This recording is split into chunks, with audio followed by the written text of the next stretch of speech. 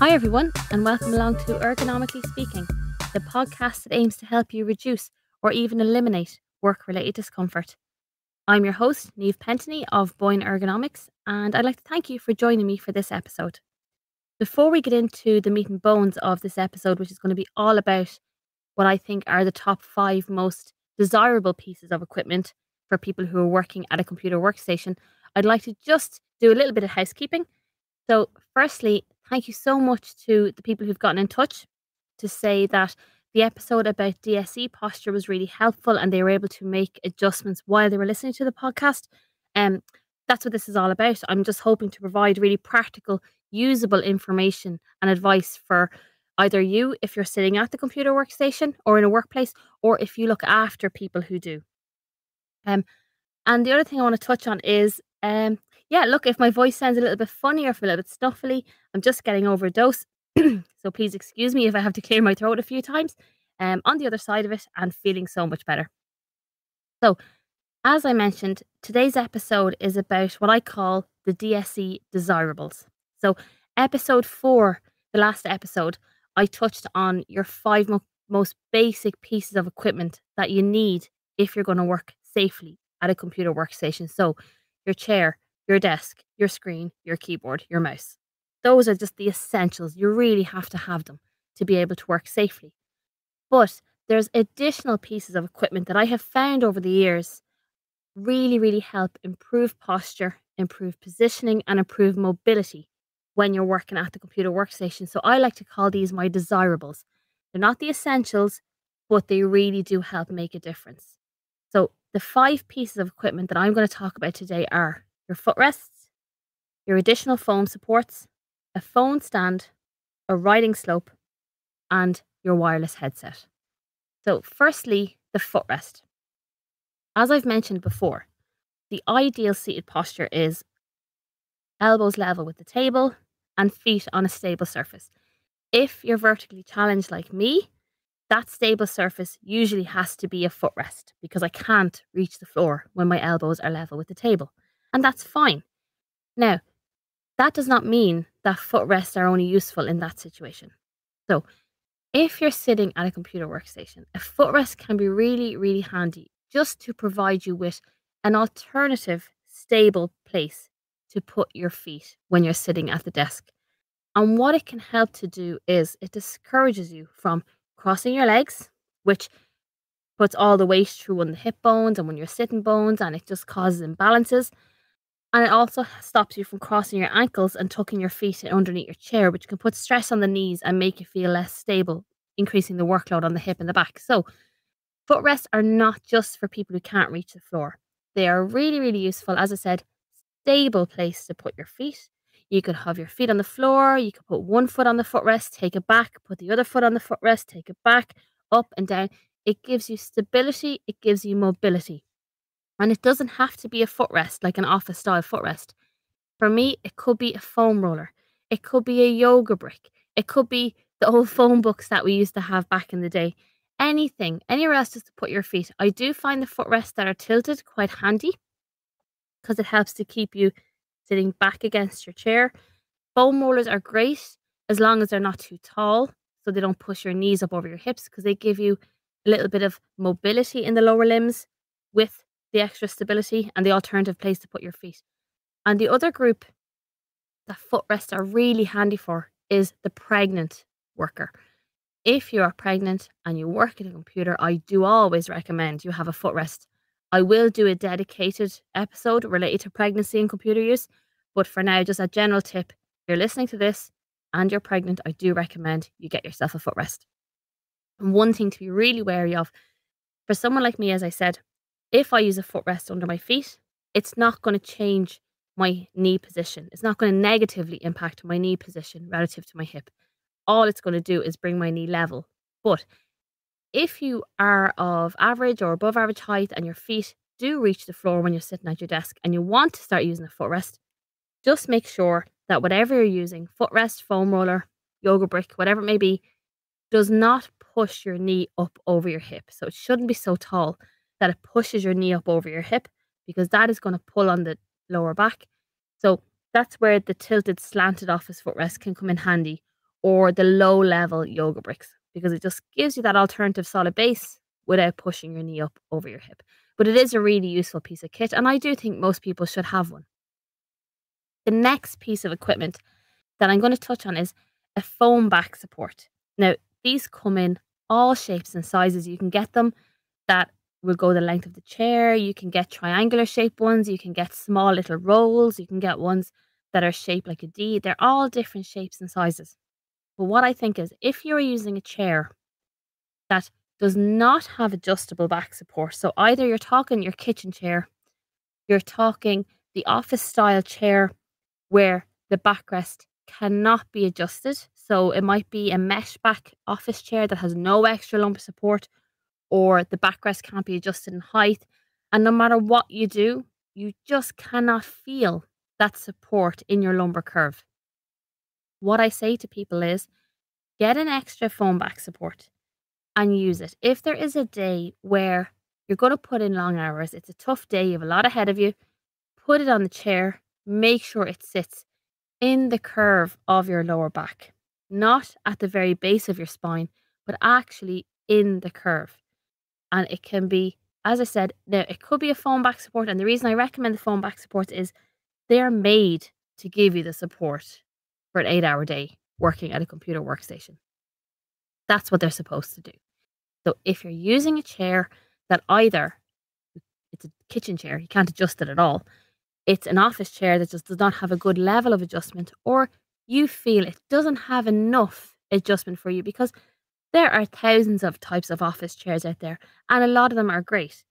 But you could have a really brilliant office chair that is totally suitable for 95% of your workforce. There will be the 5% that just cannot get the positioning right for one reason or another, or doesn't provide enough support. Maybe their lumbar curve is a little bit deeper. So I always think that really everyone should have an extra foam back support to put on the chair.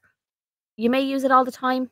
You may only use it every now and then if you're feeling a bit sore, sore, sorry, or a bit of discomfort. That's fine, but I do think everyone should have one. So those are two pieces of equipment that really would just give you an extra level of support when you're sitting working on a computer. The next two pieces of equipment that I'm going to talk about are going to impact your positioning, your posture. And they're really going to look at the upper body, the neck, the upper back, and the shoulders. So, for a lot of people, myself included, the mobile phone is actually an extra screen at the workplace. It's on the desk. We use it when we're working, whether we use it for work purposes or whether it's for personal use. We look at our phones when we're working. And with that in mind, most of us, if you look at yourself now or look at yourself the next time you hold your phone, where are you holding it? Most people hold their phone kind of around belly button level, maybe slightly a little bit higher, and they look down at the phone. Very few people will actually bring the phone up to their eye level or close to their eye level. Most people hold the phone down and look down. All you have to do is like if you're standing in a bus station or you're standing in a train station and you're standing somewhere where people are waiting or you're in like a doctor's waiting room or something like that, look around at people looking at their phones. They're all looking down. The same thing happens when you're looking at your phone and you're sitting at the computer workstation. So you have may have put the time and the effort into getting your work screen, your laptop screen, and your monitor positioning right. And that's brilliant. But every time you look at your phone, you're looking down, putting extra stress and tension and extra workload on the neck and the shoulder muscles, causing you to round your shoulders and causing extra stress and compression forces on the discs in the neck. So, I always recommend to people to think of the mobile phone as a screen when you're sitting at the desk. Raise it up, get a height adjustable phone stand, place it beside your screen, and pop the phone on it.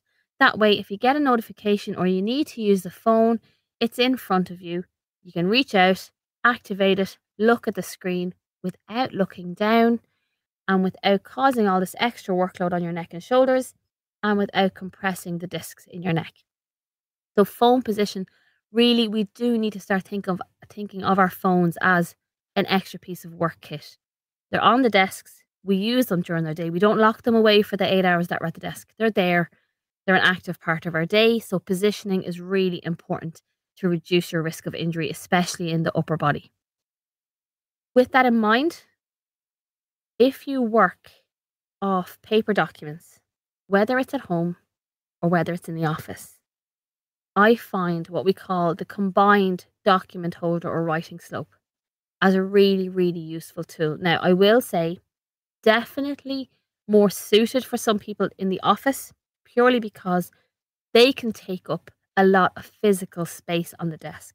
And not everybody has the depth available to place a screen, a writing slope, and a keyboard, and then still have a little bit of space left to support the forearm. So, um, if you're not sure what a writing slope is, like I'm sure we all know what a footrest is, and a foam support, and a phone holder. But if you want to see what I mean when I say a combined document holder writing slope, if you look up the Microdesk copy holder or the FlexDesk 640 and Google those and just have a look, that's what I mean. And I just should add also, this podcast is not sponsored. Nobody has paid me to put those names in. These are just two pieces of kit that I have recommended in the past and I've got really good feedback on, and I've used them myself and I, I find them really useful. What they do is they change how you position your paperwork relative to yourself and relative to your keyboard. So, what I see a lot, both in the office and on the virtual home assessments, is most people will have their monitor, their keyboard, and the notebook, and then themselves in that order in a straight line.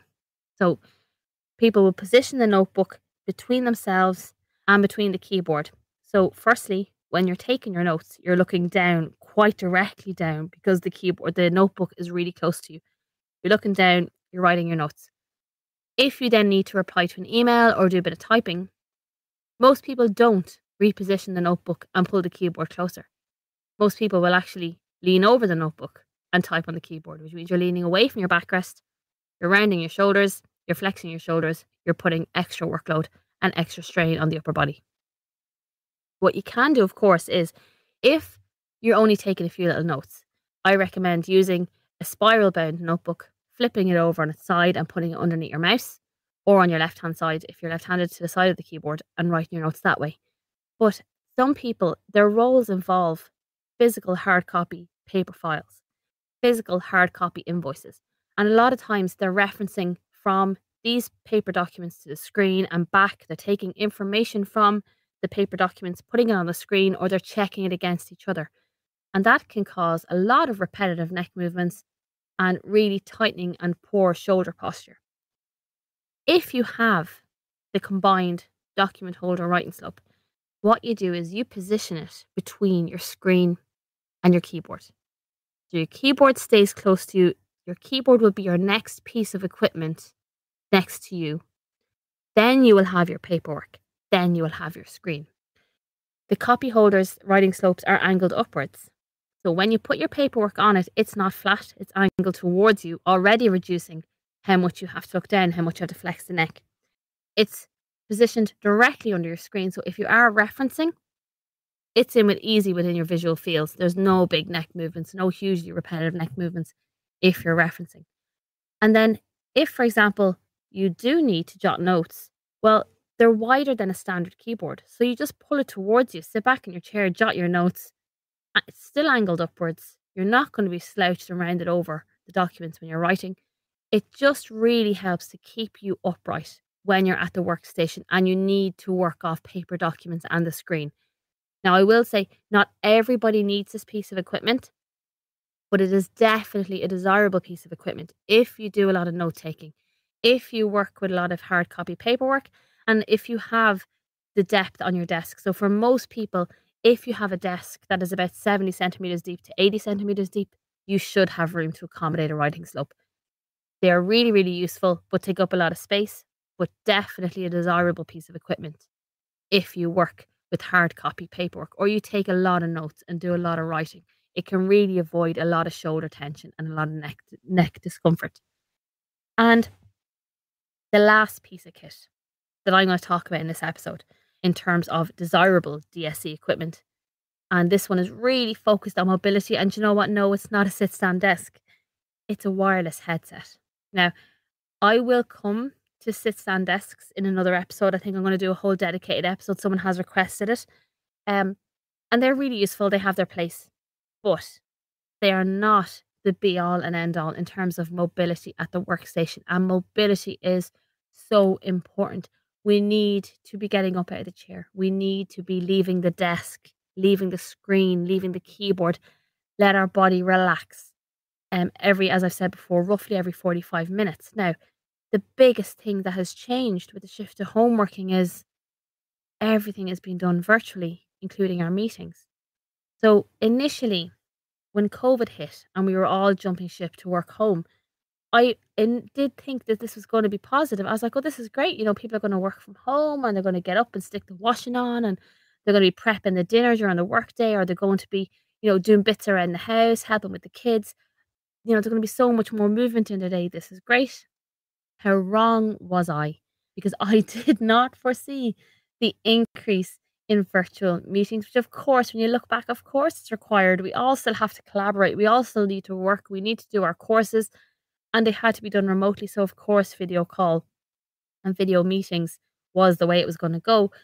But they are the biggest factor that keep people tied to the desk, that keep people sitting at the desk for periods more than 45 minutes. And some for some people and some days we're talking hours.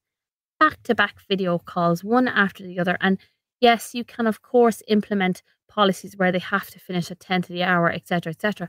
But people don't leave the desk when you do that. They catch up on their emails or they prep for the next meeting. That's just the reality of it. So we need to find ways to get the mobility in during the meeting. How do we do that? We go wireless. Your wireless headset, your wireless earbuds, whatever it needs to be, means that you can be in the meeting but not in your chair. Now, I'm not saying that we have our cameras off all the time. I know a lot of companies do prefer to have their employees on camera for their meetings, and that's absolutely fine. But there is no need for anyone to be on camera for the entirety of every single video call. So, what I encourage people to do is get a wireless headset or provide wireless headsets if you are the employer and allow people, let it be known and lead by example that it is okay to turn off your camera for a minute, two minutes, three minutes during a video call and get up and walk around your room. Get up and pace your workspace. Go get a glass of water. Whatever you need to do. You're not leaving the meeting. You can still hear everything. They can still hear you talking. It's just you're allowing yourself the physical break from the chair, from the keyboard, from the mouse, and from the screen. You're giving your body the movement it needs to rejuvenate, to boost your circulation, to boost your respiratory rate, and to keep your body healthy and taken over. So I think if I had to pick in terms of what improves mobility more, if I had to pick between a wireless headset and a sit stand desk, the wireless headset wins hands down. I have both, and I can tell you the wireless headset has been a absolute godsend in the last two years. So allowing yourself the freedom to leave the desk, even if you have eight hours of back to back video calls. And of course, you're going to have to be on camera for a proportion of it, especially if you're presenting. But in every meeting, there will come an opportunity for you to turn off the camera and get up and walk around. Um, I know something I recommend a lot is logging into meetings via your phone if you're not presenting, but you know, it's not always possible. Sometimes we need a screen, sometimes we need to screen share. But at least if you have the wireless headset or earbuds, you can get up and pace around while you're on that call. And I think that is so important. Your equipment and your posture, of course, is important, but so is your mobility levels. And a wireless headset allows you to not just stand, but allows you to leave the work desk. And I think that's incredibly important. So, as I said, my top five DSE desirables are your footrest, your extra foam back support, your phone stand, your writing slope, and your wireless headset. There are, of course, hundreds and hundreds of other types of equipment that you can get for your DSE workstation, like, for example, the different types of keyboards, the different types of mice. I will, of course, get to them in another episode because they do suit different people. But these five pieces of equipment that I've talked about are really for the general population who work at the computer workstation and have no major issues. Maybe the odd bit of stiffness, the odd bit of tightness here and there, but generally speaking, just the general population. They're fit, they're well, they're healthy. They would just like to get a little bit more support, improve positioning, and importantly, increase your mobility from the workstation. So, thank you so much for joining me for this episode. Um, what I will say is feel free, please, to follow me on social media. I post quite regularly, and you'll find all topics that I'm going to get around to covering in this podcast at some stage, but covering topics on my social media like pregnancy, driving is a big one. A lot of us drive for work, and specialist types of equipment that can be useful to you. So feel free to follow me. I will put all my social media details in the show notes. And until next time, everyone listen, have a really, really great week.